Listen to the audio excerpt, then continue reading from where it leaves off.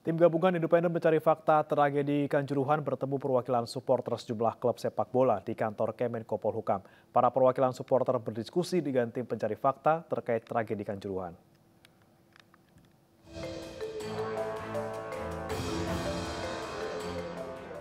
Perwakilan supporter dari sejumlah klub sepak bola di Indonesia bertemu dengan tim gabungan independen pencari fakta TGIPF di kantor Kemenko Polhukam.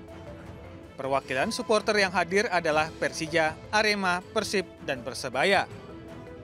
Tim gabungan independen pencari fakta mulai bekerja setelah dibentuk dan diketuai oleh Menko Polhukam Mahfud MD.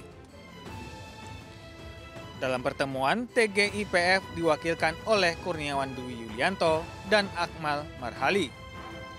Menko Polhukam Mahfud MD tidak hadir dalam pertemuan diwakili Deputi 3 Kemenko Polhukam Sugeng Purnomo.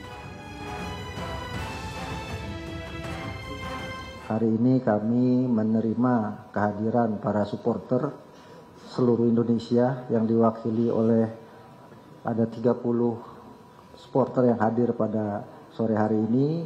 Mereka menyampaikan eh, pemikiran-pemikiran mereka upaya menyelamatkan sepak bola kita dari masalah yang selama ini terjadi termasuk di antaranya adalah menyampaikan agar kasus tragedi Kanjuruhan atau meninggalnya supporter di lapangan sepak bola tidak terjadi lagi ke depannya.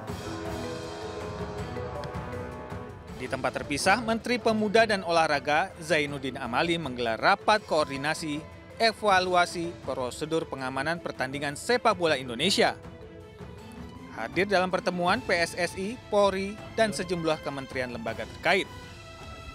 Zainuddin menyatakan pentingnya peraturan hukum yang jelas terkait keberadaan supporter baik di dalam maupun luar lapangan.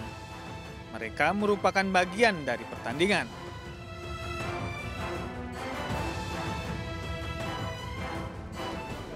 Supporter itu juga menjadi hal yang kita uh, dengarkan masukannya karena kita tahu bahwa supporter ini dalam Undang-Undang Nomor 11 Tahun 2022 tentang olahragaan itu sudah ada pasal-pasal yang mengatur itu dan sudah ada hak dan kewajibannya.